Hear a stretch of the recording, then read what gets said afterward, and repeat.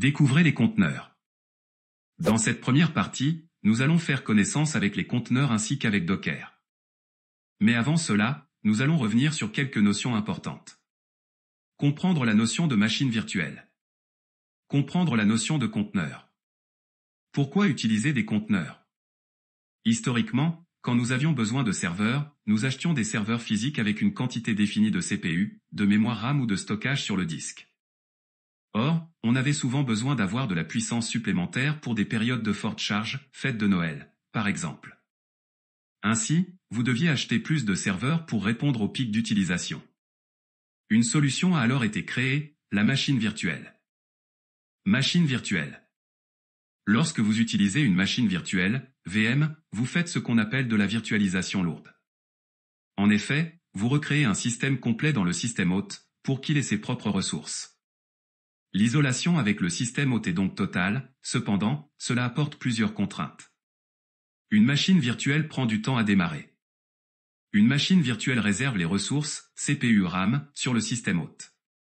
Mais cette solution présente aussi de nombreux avantages. Une machine virtuelle est totalement isolée du système hôte. Les ressources attribuées à une machine virtuelle lui sont totalement réservées. Vous pouvez installer différents OS, Linux, Windows, BSD, etc.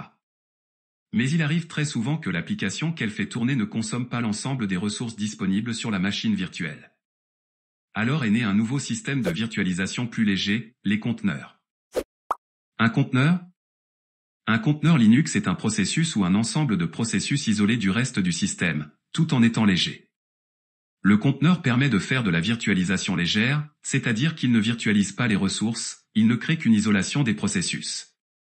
Le conteneur partage donc les ressources avec le système hôte. Attention, les conteneurs existent depuis plus longtemps que Docker. OpenVZ ou LXC sont des technologies de conteneurs qui existent depuis de nombreuses années.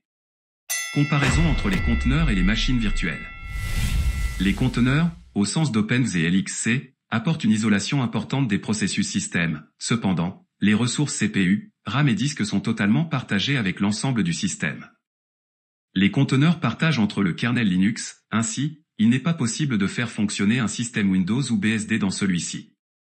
Voyons ensemble quelques avantages des conteneurs. Ne réservez que les ressources nécessaires. Une autre différence importante avec les machines virtuelles est qu'un conteneur ne réserve pas la quantité de CPU, RAM et disque attribués auprès du système hôte. Ainsi, nous pouvons allouer 16 Go de RAM à notre conteneur, mais si celui-ci n'utilise que 2 gigaoctets, le reste ne sera pas verrouillé. Démarrez rapidement vos conteneurs. Les conteneurs n'ayant pas besoin d'une virtualisation des ressources mais seulement d'une isolation, ils peuvent démarrer beaucoup plus rapidement et plus fréquemment qu'une machine virtuelle sur nos serveurs hôtes, et ainsi réduire encore un peu les frais de l'infrastructure. Donnez plus d'autonomie à vos développeurs.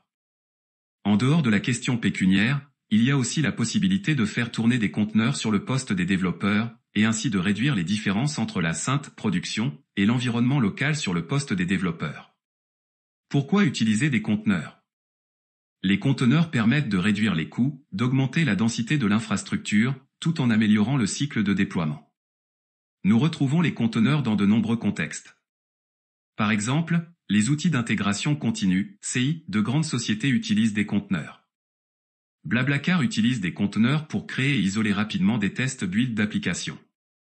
Les conteneurs étant capables de démarrer très rapidement, ils sont souvent utilisés en production pour ajouter des ressources disponibles, et ainsi répondre à des besoins de mise à l'échelle ou de scalabilité.